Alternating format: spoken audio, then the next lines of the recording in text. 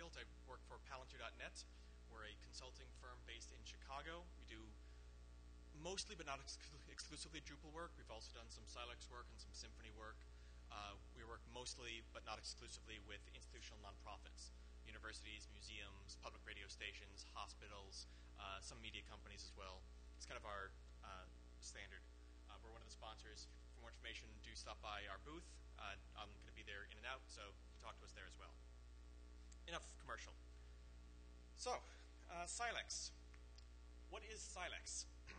Uh, Silex is a micro framework built on these Symfony 2 components. What does that mean? It means it's an unopinionated Symfony, is the best way I've heard it described. It's you know, with Symfony full stack, you get a fully built full stack framework with a lot of functionality baked in, ready to go, uh, templating system, database system, uh, and so forth. Not as much as you get baked in with with Drupal core, but a lot of functionality there ready to go. And most importantly, an architecture implied. If you do, there is a Symfony way of doing things, TM, just like there's a Drupal way of doing things. There's not really one way of doing things in Silex. That's by design. Silex is uh, a micro framework, micro in the sense of it does not imply a given architectural style. This gives you the freedom to implement the architectural style that you want. It also gives you the responsibility to implement the architectural style you want and to do it well. As I said, there's no one right way to do Silex. Uh, different people will have a different spin on it. What we're going to go through here is essentially how to do Silex well Larry style. So this is the Crell endorsed way of using Silex. It's not the only way, it's just the way that I find helps to keep a Silex application maintainable. So we're going to go through a uh, fairly basic Silex application starting from scratch. uh, if you want to follow along, this is the source code, github.com slash palantirnet, all one word, 0-2-silex. I'll also be tweeting the link later if you don't want to download it now. Uh, so let's just go ahead and dive in. Got, uh, here's our code. So let's start, as any good PHP app does, with a composer file. And we pull in Silex. The entire system is a dependent, third-party dependency of your code. Unlike, say, with Symfony, which, you know, if you're using Symfony Standard Edition, it comes with a lot of stock code you're supposed to use. Every single line of code we have here is something I have written, not stock code that comes with some standard Silex toolkit. There are st- standard Silex toolkits. Uh, I don't use them. I prefer to just roll my own. This is my standard Silex toolkit. So we I include Silex itself, and that gives us um, you know, various Symfony components that it's built on. So uses the same HTTP foundation, HTTP kernel that Symfony uses, and Drupal 8, and Laravel, and bunch of others. Um, uh, same routing system. So a lot of this will look vaguely familiar, at least conceptually. As far as our own code, let's go into our web docroot. And that's the entire application. We create a new instance of this Silex application object and run it, and we're done. We now have a working application. And if we load that up in a browser, we get an error message. This is great, actually. This is a very good place to start because we're getting a proper formatted 404 message, which means routing happens. The routing system is already there and working for us. And error handling is, is there, so you don't have to think about 4, 4, 4 3s and 4 and so forth. That's already taken care of. Great. We now have a working application. Let's go home. Okay, now let's add features to it. So, Let's uh, start some basic routing. After we create this application, we can add routes to it. to add a route, there's a lot of methods you can just call directly on the application.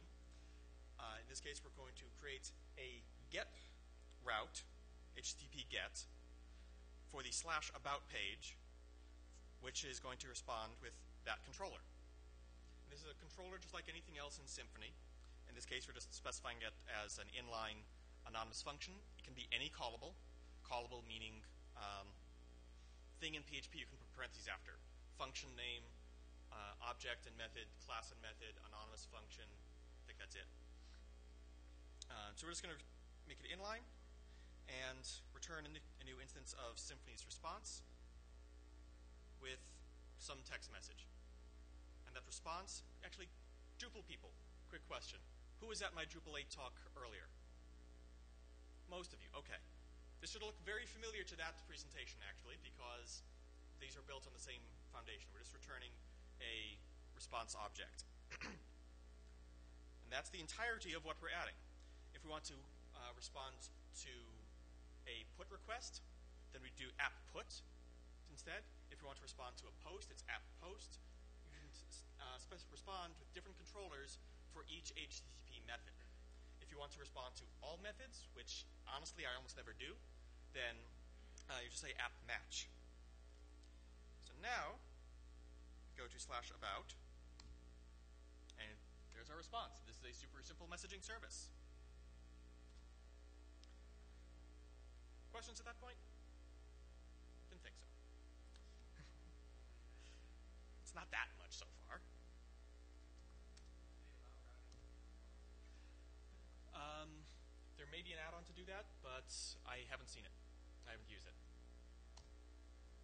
So let's do something a slight bit more interesting. Um, so as in any good application, your business logic should not be in controllers. Your business logic should be in services. So let's add a service. um, the app object is actually uh, subclassing from Pimple. Pimple is the world's simplest dependency injection container that people actually use in practice. It's about 100 lines long, maybe 150 lines long, um, and works with PHP's array access methods and anonymous functions. It's actually really, really cool. Um, and it's what uh, everything in Silex is built off of. So, we're going to create a parameter, just like in the Symfony container you get parameters, same idea here called rot encode count. and give it a value of 13. And then we're going to uh, register a new service called rot encode. That service is, this is the anonymous function, or the callable, can be any callable, that will instantiate this service when called. And we wrap it in an app share call, which means cache this and only instantiate it once. So right there, we've got everything we need to create this service. We just you know, close over the app itself, and then return a new instance of this rot encode uh, class, and pass as its first parameter that rot encode count parameter of the container that we just defined right here. What is this rot encode class? It is a very simple encoding system that uses uh, rot encoding. Who's used rot encoding before? It's, okay, it's a very basic uh, form of encryption. Uh, it's two-way or potentially two-way encryption, uh, where you just take every character and rotate it. So rot one is A replaced with B, B replaced with C, C replaced with D. Rot two is A replaced with C, B replaced with D, and so forth. Uh, which means rot 13 is reversible. Rot 13 something to encode it, rot 13 it again, to get back the original. This is also known as the absolute worst security system in the universe. It serves no purpose other than to be used in slide demos. Um, so this is just a simple class that has a, it takes one constructor parameter and has a rot method on it takes a string and does that encoding on it. Don't worry about that, actu that actual code. Doesn't matter. I actually pulled it off of uh, PHP.NET documentation as an example. Please never use this in production, okay? Promise me that? So um, we're going to, we register that service.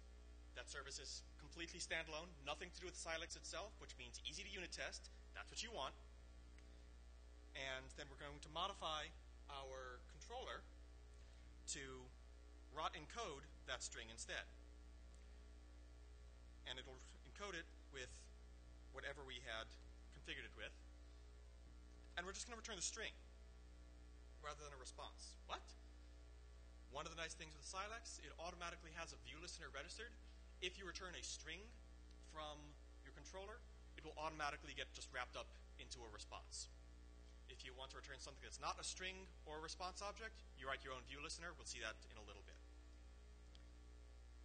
But we've got, now that we've got that written, let's have a look at that. And that is the ROT encoded, the ROT13 encoded version of this string. Uh, footnote, ROT26, what does that actually do? Gets back your original string, which is technically still encryption under the DMCA, so reading something is a, is a violation of the DMCA. I always have to throw that one in there. So this is great for going to um, just hard code everything. Usually you don't want to do that. So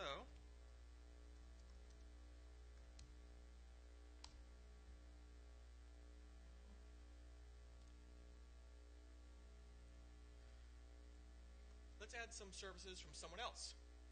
In Silex, if you want to uh, package up a service, you can write something called a provider. A provider is a class that says, hey, Silex, here's a bunch of services. Enjoy them. And uh, Silex ships with a couple of providers, not the libraries for them. You have to download those separately. Uh, so in this case, we're adding doctrine DBAL to our composer file. And then in our app, we're going to call app register that service provider that comes with Silex. It's just a new instance of oops, there we go, doctrine service provider and the parameters that we give that service provider. In this case, we're going to say we're creating a database with uh, SQLite. um, here's the path to it. Great. And then in a controller or wherever else, we can access the database connection just out of the uh, container. And note, this does mean your, con your controllers here are uh, con container aware, which is a bad thing, but controllers. And have whatever logic you're doing. Incidentally, we have this registered as a get method that's going to drop and recreate the database. Please do not actually do this in production. It's just a convenient place for me to show that, hey, yes, you can call doctrine. All right. So, so far we're up to about 60 lines of code in our index.php file. Who thinks this is going to scale well? Didn't think so. Generally speaking, putting a couple thousand lines of code into one giant index.php file is not a good idea. So what's the alternative? There's a couple of different ways that people solve this. The way that I recommend is just extend that application class yourself. So now we've got an application uh, class that extends the base Silex application. And then in our constructor, we're just going to move all of the code we just had into here. Nothing really exciting here, just moving code around. And I like to break it up into a couple of utility methods. You don't have to, but uh, I find it convenient. So we've got our custom services, third-party providers, and any, any routes we're going to create. No new code here. I just moved it into a class. And then our index PHP is just create our new application, it's a subclass of, sim, of uh, Silex, and run it. And we can also flag debug mode true if we're going to leverage that. That's not a magic variable, it's just the name that I decided to give this property. Now, one issue here. This, uh, there we go. We now have this path to our application database hard-coded. It's not a huge problem when I'm using SQLite. If I'm using MySQL or Mongo or Postgres, who thinks it's a good idea to hard-code your database credentials into your application class? Good. So how do we provide configuration? Silex by default doesn't have a configuration system in it. It provides nothing out of the box.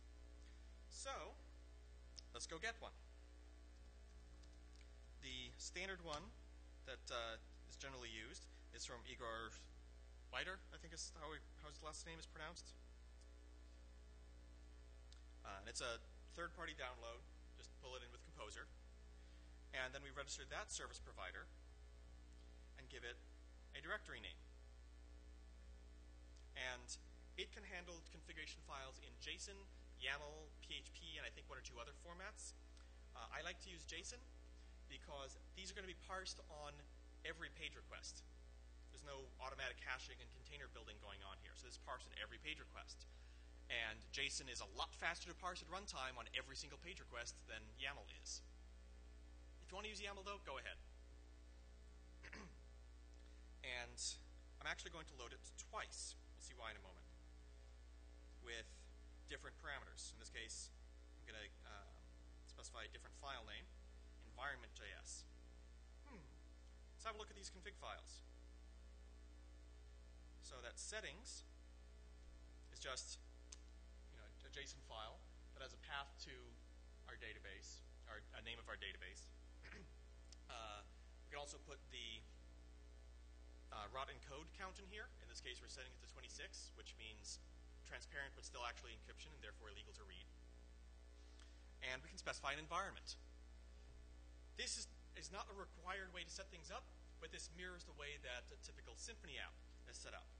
So your settings JSON file, you don't check in to Git because this has your database credentials. This has, are you in dev mode or production mode? Silex doesn't understand the difference. I'm building the difference in myself right here. Because that environment, everything here becomes available as a property on that dollar $app variable, on that uh, app object. So now that that first uh, first line there registers, uh, loads up that settings file.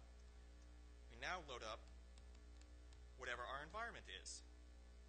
So we're in dev mode, so we load up dev.json, which turns on up prod.json, turns on false. All of these will just be merged into that gigantic app object. don't want to set it up this way? Don't set it up this way. This, I find, is very convenient to have everything uh, checked into Git that I need checked into Git and still support different uh, operating environments. and if you want to have multiple config files, uh, for different types of configuration, you absolutely can. Just call that uh, provider multiple times again. Okay. So we've got uh, a couple of third-party providers, but we're still registering this service of ours ourselves, this rot, in, encode service. Wouldn't it be cool if we could write our own providers instead? Anybody? Yes? Okay, thank you. Fortunately, we can. It's actually quite easy to do.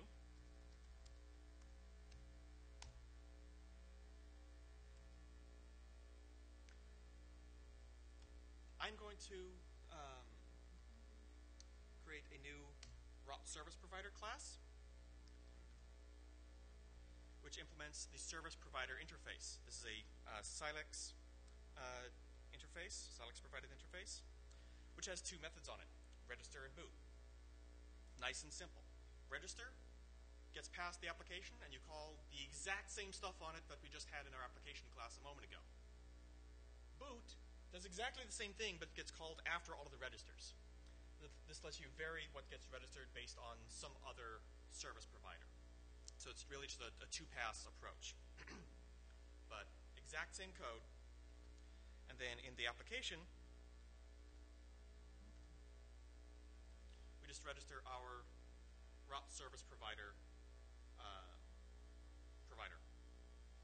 Now note the important thing here is the order because all of these uh, providers will get called in the order you specify them in the code. And if they conflict, whichever gets called last wins. That's how you can have overrides for, say, a different environment. It also means ROT service provider can, by default, have an encoding of 13, but configuration gets loaded later, so if it specifies that rot encoding count, that wins over uh, what the module provides by default, or what the provider provides by default. Which means just by keeping the order straight of our providers, we can have default configuration for some kind of bundle and overrides just by varying the order. It's a very, very simple approach. Okay.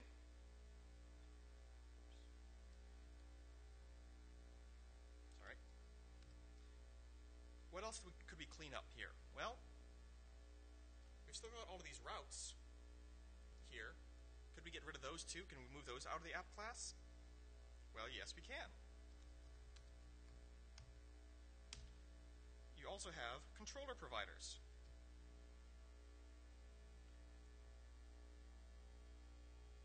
which work in a very similar fashion. Uh, just have any arbitrary class, implements an interface, and has a connect method on it, which gets past the application. And then I'm not entirely sure why, but you need to call, you need to get access to the controller's service, which is really just the Symfony routing component, and call get on that directly. Why the documentation always says to do this, and why you then need to return the controller's service itself, I have absolutely no idea to be perfectly honest. But this is what works. So again, all I'm doing here is moving code out of the base application class into this provider. and I can then put these provider classes anywhere I want. There's no rule about it.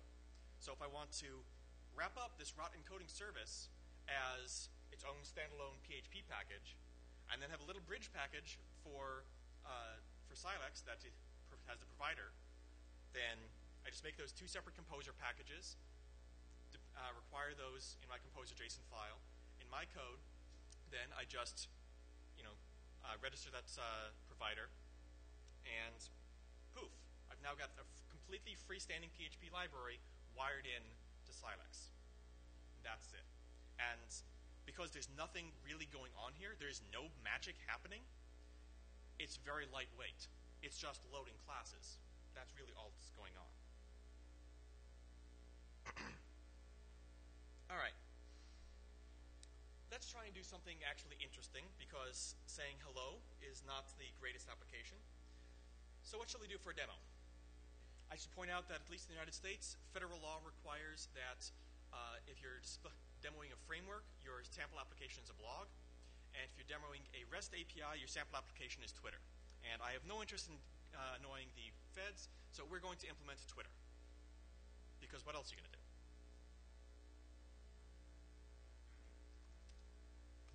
So what are we going to need for a Twitter application? Well, we're going to need users and messages. Come on, you.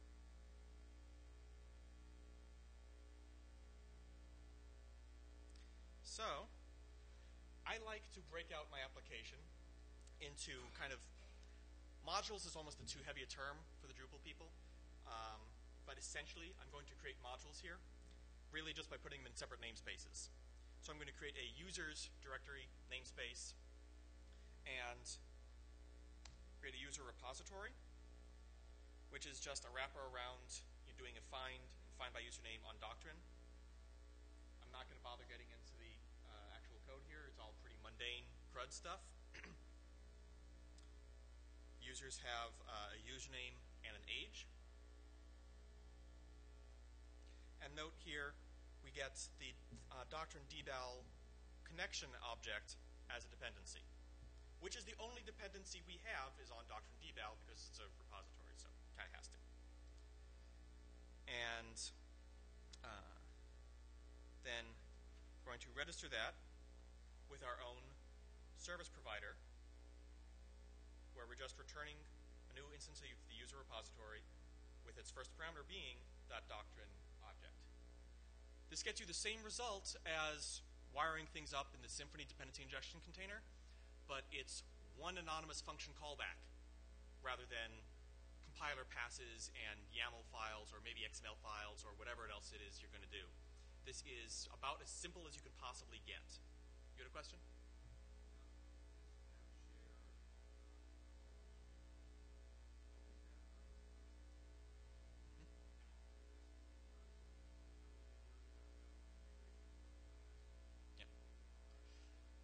So the app share method, this is part of Pimple. Um, so let's actually just look at this, this example directly. So we've got AppDB. AppDB is a service registered this exact same way by the Doctrine service provider. When we call AppDB, that uses PHP's uh, underscore underscore, to me, PHP's array access uh, methods, and it says, do I have I instantiated AppDB yet? No, I haven't. All right, I've got an anonymous function registered for that. I will call that, and whatever comes back from it, be that an object, be that a string, be that a resource, be that whatever you feel like returning, is what I will then return. Wrapping an app share means second time it gets called, oh, I already did that, I'll just return the same one as last time. It's actually a little bit weird that you have to call app share around that because honestly, that's the typical use case. So actually, Pimple 2, um, this is uh, Silex 1.2, which is using Pimple 1. Pimple 2 reverses that. So the default is to have uh, a shared uh, service, and there's another thing you wrap it in to make it not shared. That answer your question? All right. so it's, it's just like in any other dependency injection container. This gets called the first time someone needs that service, and if that means it needs to instantiate some other service lazily at that point in time, it will do so. All right. And then we're also going to uh, set up some controllers. So we're going to have posts to slash users will be uh, this controller where we'll take the request object, get its content, JSON decode it because this is a JSON-based API, take that data, create a new user, and then redirect to the user we just created, which is what you're supposed to do in HTTP when you create a new object. is you send a 201 created response with the URL uh, that you should redirect to. So we use Symfony's URL generator, which same thing you're used to from Symfony and is also in Drupal 8, to generate a link to the users.view route with this as the parameter, the username that we just created. And then we call app redirect. But what's this users.view route? We haven't created that yet. That's down here. So in this case, this is a GET request to users bracket user which is this controller, uh, in which we grab the repository that we created a moment ago, run find by username on it, just look up the user, strip off the uh, internal ID because you shouldn't expose that in a REST API, and then return that as a JSON blob. This is just the utility wrapper around new JSON response and data. And then we're going to bind it to users.view every route in any Symfony-based system needs to have a name, needs to have a machine name. In Silex, if you do not specify one, it creates one magically for you behind the scenes, but you don't know what it is, so it's not useful to you. If you want to refer to a route, you have to give it a name by binding. So, but once we do that, then we can create a link to it and redirect to it. Cool. One slight problem with that. Remember I said nothing comes by default? Yeah. We need to register the URL generator service. You can't even generate URLs by default until you register that. Fortunately, that's baked in uh, and ships with Silex, so you just add that line and you're done. And then we're also going to register our user service provider. and register routes. And for that, we call app mount, which lets us register those controller providers. Uh, the first parameter is everything provided there should have this prefix on it. In this case, we're saying both things just come from the app root. You could also set it up so that everything is slash users and then whatever. Again, do it however you'd like. Symfony actually supports the same thing. Uh, Drupal people, we do not allow that for Drupal 8. it just gets too weird when you're doing something in Drupal. Right. Now, one problem here, we said before that app class looks like it's getting uh, or the index PHP looks like it's getting really big and full of anonymous functions, and anonymous functions are really hard to test, those route providers uh, look like they're getting really big, or controller providers look like they're getting really big and hard to test. Because we've got all of our controllers in anonymous callbacks, and you can't test anonymous callbacks. So what do we do about that?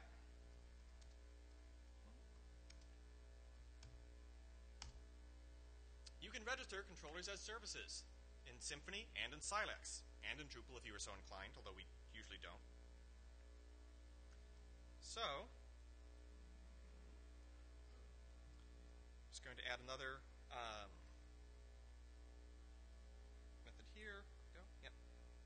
Once again, we have to register another provider that gives that ability to the routing system. And then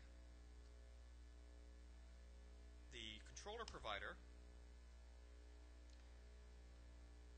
I'm going to, uh, instead of specifying an inline callable, I'm going to give it the name of a service and a method.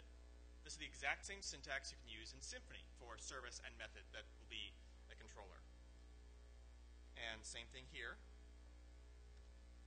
And then our service provider, we have our user controller uh, class, which is our service, user dot, users.controller. That's the name we gave it before. And we return that. That'll get instantiated. We call that, uh, that method on it, uh, on that class. We look at that. We're just taking the same code and moving it into actual methods, which is where real code belongs. Now, one thing to note, I am using, I am actually passing the application object into the constructor here, which means I do have container-aware services. Or, excuse me, container-aware controllers. Is this a good thing? No one can agree on that. The first Silex app I did, I did not do that. I actually passed in services directly, and that got very clumsy. These days, I go with the rule of if this becomes a problem, it's because you have way too much logic in your controllers, move it out. So, again, pick your poison on that one. Uh, you can go either way.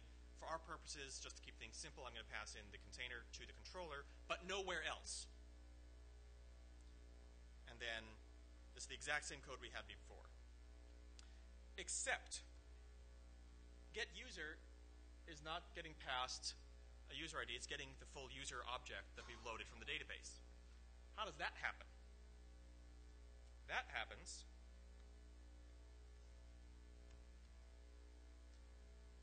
we had this convert callback. This one, I believe, does have to be uh, an inline callback. Um, but this lets us upcast those parameters. So we have a user placeholder here. So the user, if provided, will get passed to this callable and replaced with whatever it returns. So in this case, we're going to look up that uh, user by name from the repository and return that loaded user. And if that breaks, the repository will already throw an exception for us, and that'll get handled as a 404 elsewhere. Which means our controller now does less work. It doesn't need to load the object. All it's doing is formatting it. This is a good thing.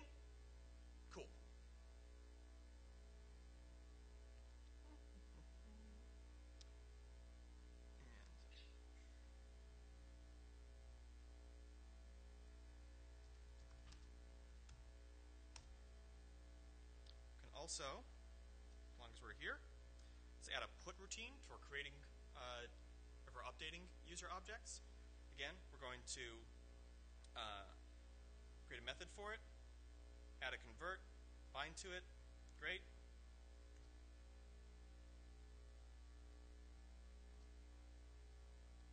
Here's our put user method. Again, JSON decode what gets put, uh, update the object, save it, and then HTTP is actually unclear about what you're supposed to do after a put request. What I'm going to do is uh, respond the exact same way I would had it been a GET request. So we've saved the object. We're now going to return the same thing you would get if you just hit it again with a GET response, a GET request. Is that what you have to do? No.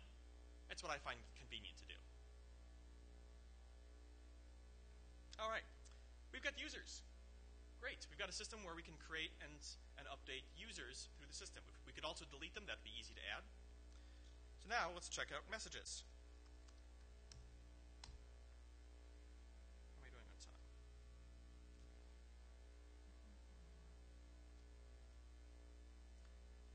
Messages we'll put in our own separate uh, module. Again, scare quotes module here.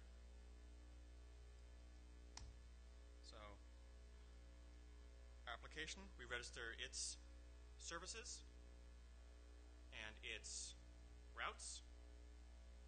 Okay. We've got a message repository, which looks pretty much the same as the user repository. You could simplify this if you want to.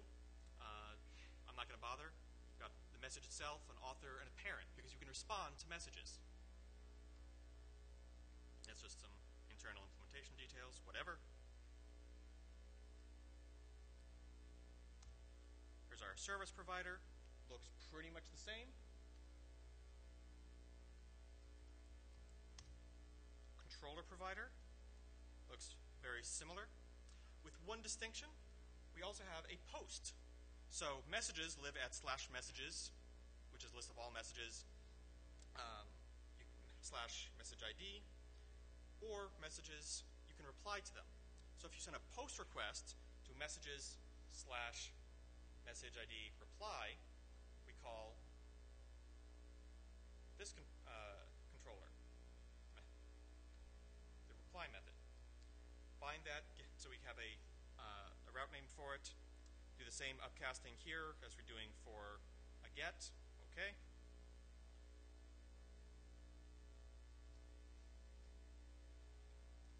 Create message works pretty much exactly the same as it did on users. Send a post request to uh, slash messages, create a new message, we send back a redirect. Get a message, fine, sure. You know, nothing different here, except, oh, the message um, author we're going to overwrite with the author's name rather than internal ID. Again, good REST API practice, you don't expose your internal IDs.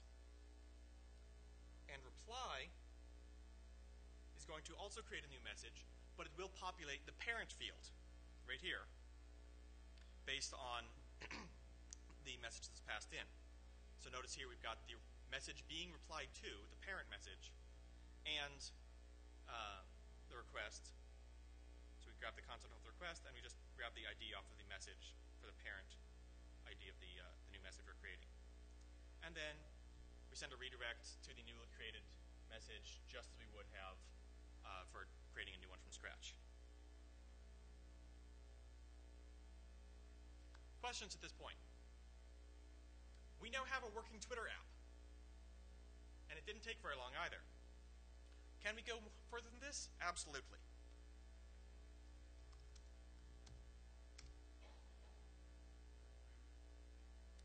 Uh, so errors.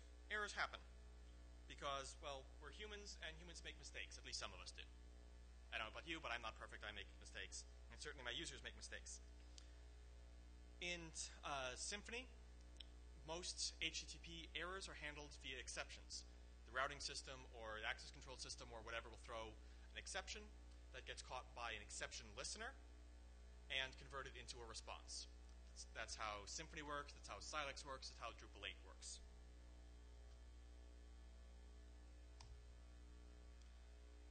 And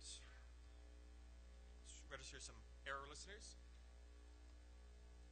App error is a shortcut for uh, accessing the exception event in the uh, Symfony kernel. So I, I say those words. Does everyone understand what I mean when I say the exception event of the Symfony kernel? Does anyone not know what that means? I can, I can fill that in. Okay, good. On the same page. So each of these is just a callable that will listener for that event. and you can provide it inline. You can provide a, um, a priority for it. But what's really cool is you can type hint on the type of exception that gets thrown, which means we can just specify, hey, if we get a not found exception, a not found HTTP exception, this is what gets called. I have an object not found, which is what gets thrown by our um, repositories, this will get called. This listener has a lower priority than those, so it gets called at the end, and it'll catch any exception. What do we do with it? Well, again, Silex doesn't tell you. It just says, hey, as long as you get a response back, I'm cool. So uh, what I like to use here is a uh, library called API Problem. Uh, API Problem is one of two REST error specifications uh, out right now. Uh, the other is VND error. Personally, I like API Problem better, and so I wrote a library for it. It's just a standard library on uh, Packagist if you want to download it. Very simple, one class, plus tests, of course. for formatting a error message in in a standard JSON form because you don't want to return an HTML error if someone sends you a JSON request that's invalid, right? You want to send back something that is vaguely what it expects. So, uh, in each of these cases, we just use this API problem library to specify, all right, here's the, the error information. The body of the exception is going to be our detail field. And then get back that information as an array, create a new JSON response with that, send a uh, 404 not found in this case.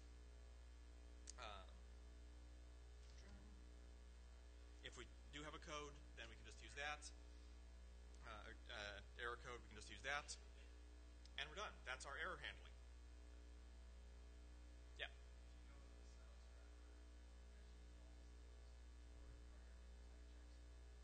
That's exactly what it does. Uh, it, it, calls it based on priority. In Silex, or in, in Symfony, um, higher number wins. It's a priority, not a weight. So uh, what it'll do here is exception gets thrown. First thing it checks is, is it an object not found? Is, is the exception an object not found an exception? Nope. All right, check the next one, which is this one. All right, is the type of it not found HTTP exception? Yes. Okay, call that, we're done.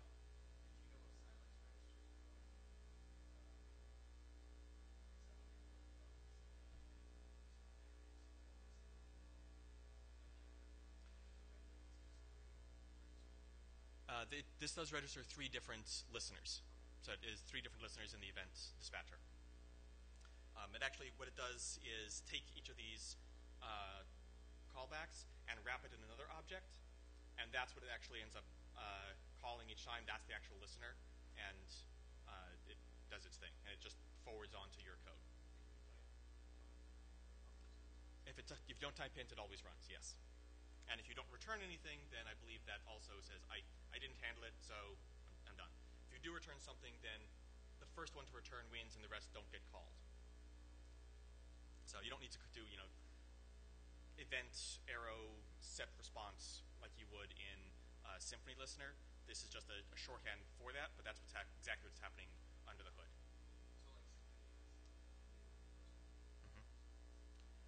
Yeah, the, the, exception listener and the view listener in Symfony work almost exactly the same. Uh, there are shortcuts like this for uh, the request event in Symfony uh, called before, for the response event in Symfony called after, and view doesn't have one, but there's an open issue right now where it hopefully should get in the next release because it's silly for it to not have one. Uh, so I hope it gets in, and hopefully will work the exact same way as exception um, if I win open discussion in a GitHub thread right now, but uh, I'm pretty sure we'll be able to get that in with the, uh, the type hinting for view as well, because that's really, really powerful, as we'll see in a moment. In fact, that's an excellent segue. We're sending out a REST API, which means we should be having hypermedia links. You didn't know this was a, uh, also a talk on REST, not just on Silex, right? Someone told you? Okay should be sending out hypermedia links, which uh, there's about eight different formats for in JSON because JSON is a terrible format. It's really easy to parse, but it actually doesn't work well as a REST format because it doesn't understand the concept of links. So there's a dozen competing formats for it. Go team! XML does actually have a standard for that, more or less. So, what we'll do instead here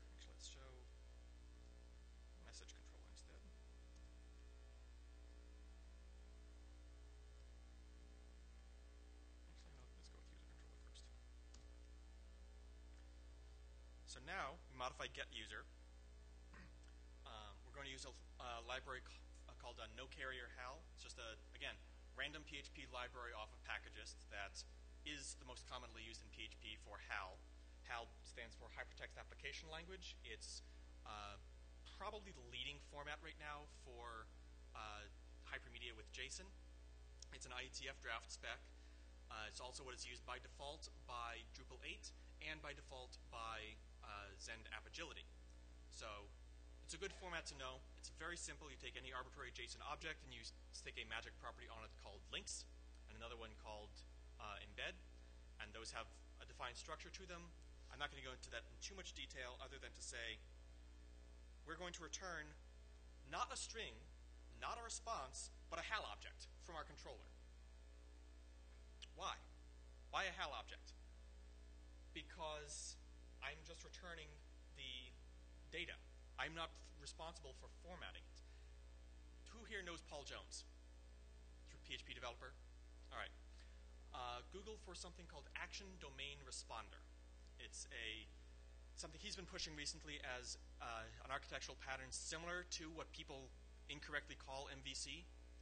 Um, that actually fits the web a lot better, where incoming request goes to an action, which processes the, that request, but then something else is responsible for formatting a response. Because those are two separate actions. There's not really a MVC type structure uh, necessarily. And this actually fits really, really well with Symfony's HTTP kernel. This is how Drupal 8 is working. This is how you should be doing things in Symfony and Silex. Um, Fabien actually says don't, don't use the view listener because it's slower. It is sometimes, but uh, I find the architectural separation that it gives you really, really nice. So our controller here is now going to return this thing that is not a response and not a string. So do we know what to do with that?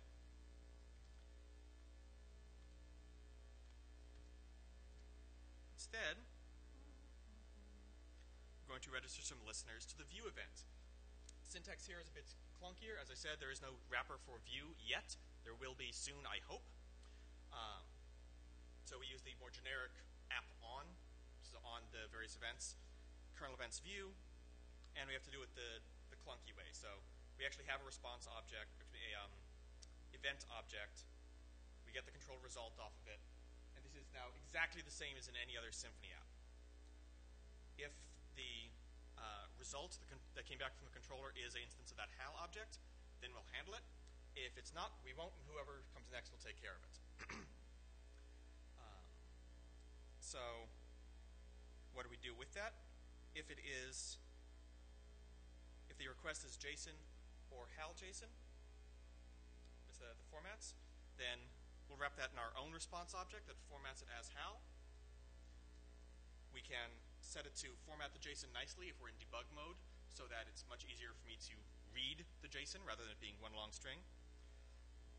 Um, if it's not, if the request was not one of those formats, one of those HAL JSON formats, then we'll say, all right, if we're in debug mode, you're probably just typing stuff into your browser, so I'll go ahead and return it anyway, and I'll assume you want JSON back, but I'm going to send a response type of application JSON, not HAL JSON, uh, because browsers are stupid, and will, if you send back a response of application JSON, they will print it as text. If you send back a JSON variant, they won't know what to do with it, and they'll ask you to save the file. So this just makes debugging easier. But if we're in production, and the request format is not JSON or HAL JSON, then we'll throw an appropriate exception, not acceptable, wrong uh, MIME type, and that could convert into uh, a response by Silex, and you, uh, you get the um, a nice error message back. Let's see here. Actually, we're handling that ourselves, so no, no acceptable format found. How do we know about that HAL JSON? Well, we also are registering some before listeners. And doing content negotiation. Please don't do content negotiation this uh, blindly. This is not a great implementation, but it does work. Just get the acceptable content types out of the request. That's, you know, what, what uh, content types did that request say um, were acceptable in, in the uh, accept header. Check the, against the available formats. if it's one of the uh, machine name formats that uh, Silex supports, that Symfony supports, specify that. And we're going to default to JSON if we don't know what else to do. Is this the right way to handle it? It's not very robust, but it fits on, a, on uh, one screen, so I'm good with it. So request comes in, we do content negotiation, routing happens, maps off to our controller. Controller uh, returns a HAL object. View listener turns that HAL object into a JSON response, and we're good. We've written all of this ourselves, and it's only taken us, what, 45 minutes?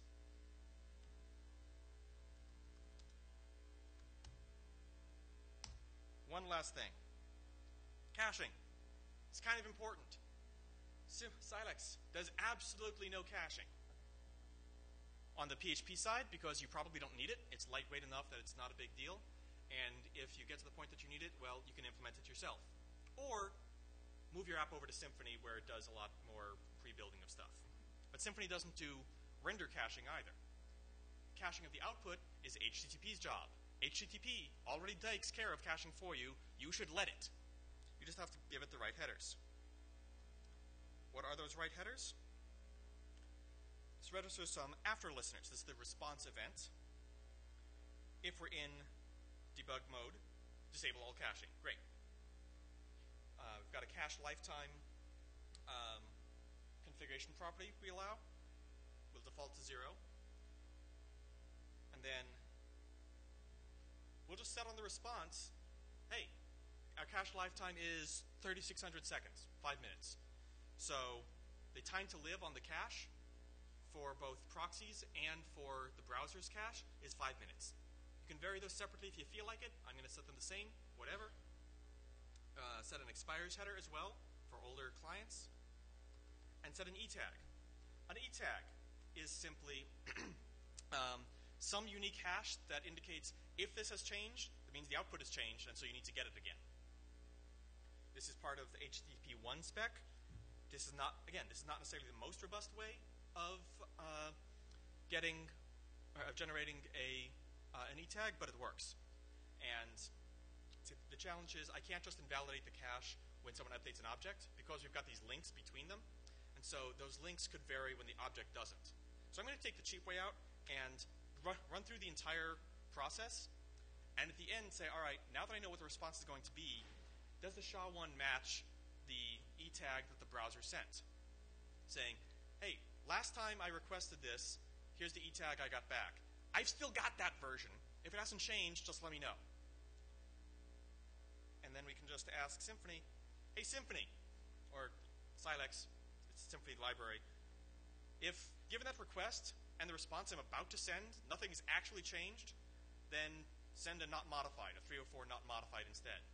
And Symfony will chop off the uh, body, change the response type to 304 not modified, and send it back, and you are sending back just HTTP headers, no actual body, saving the network. If you've got Varnish sitting between you and the client, great. It'll cache stuff for however long you tell it to. It may even handle some eTag stuff, this is all offloading cache logic to some HTTP server that knows what it's doing with that. Nginx, Varnish, a CDN, take your pick. They do it better than you do, and they're faster than PHP. Let them.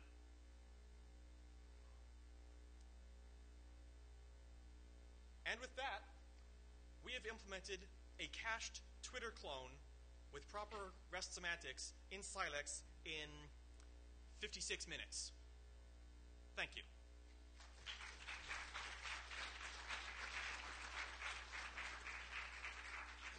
Which means we've got about four minutes for questions. Yes.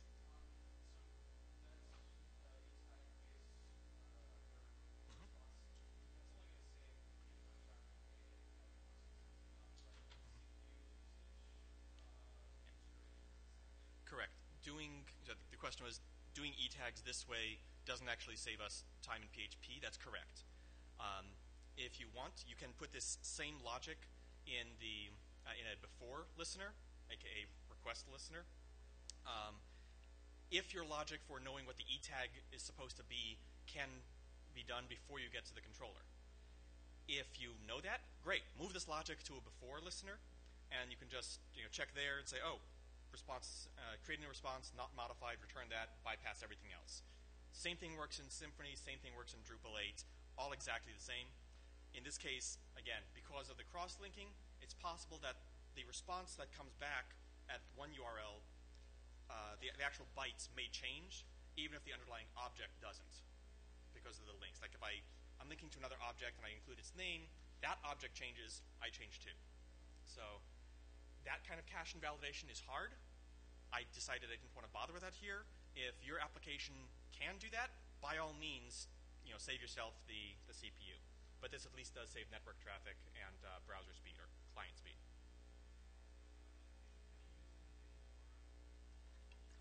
Can you use annotation for routing? Um, I haven't. There may be a provider that uh, will do that kind of scan. It would then have to cache it as well somewhere, otherwise it'd be way too slow.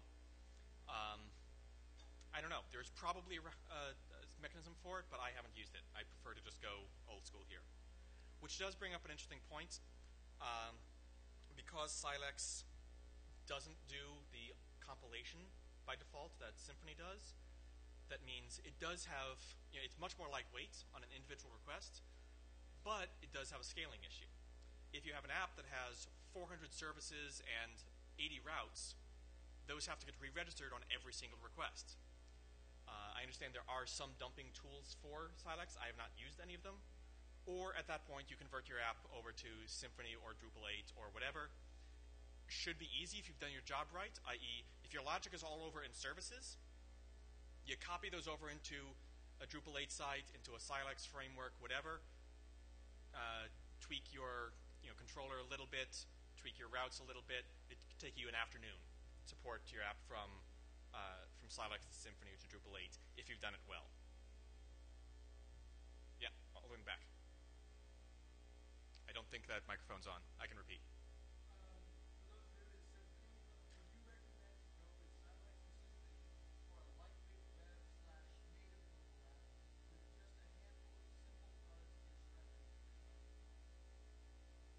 Question is for someone new to Symfony, is this a good place to start for a small app? Yes, I did. Um, because it has so little stuff built into it, it makes it much easier to look at just the bare bones core pipeline. Uh, Fabien recommends that as well. Um, if you want to learn how Symfony works under the hood, use Silex because it's the same kernel that Silex, that Symfony uses, that Drupal 8 uses, that various other things use, but all of the stuff on top of it is stripped away. So it, it is actually a very good uh, Symfony learning tool. Again, it worked for an awful lot of systems. You can download uh, Twig provider. There's a Twig provider for it. You download Twig. You can build pages with Twig instead. Um, for pure API stuff, I really like Silex. I, I actually kind of like not having all of the conceptual layers of overhead that Symfony has. That said, I also work on Drupal 8, so go figure point is, yeah, it's a perfectly viable option um, if it'll do what you want. And one of the advantages of all, all of these systems using the same common component is your same team can jump from Silex to Symfony to Drupal 8 and back uh, with relatively little retraining because all you need to learn is the stuff on top of that common pipeline. The common pipeline is going to be the same in all three. So if you think just to yourself, oh, I would do this in a request listener in Symfony, that, that answer is going to be the same in Drupal 8 or in Silex. If you say, oh, I'm going to do this weird logic with you know grabbing the response, uh, doing some regex on the string for whatever reason, you can take that code and move it almost verbatim from Drupal 8 over to Symfony. And you know, all three of those systems can interchange to a large degree. Um, so that makes it a lot easier for teams to cross-train in all three of them. I have time for one more question before they throw me out. All right, great timing. Thank you. Enjoy the rest of the conference.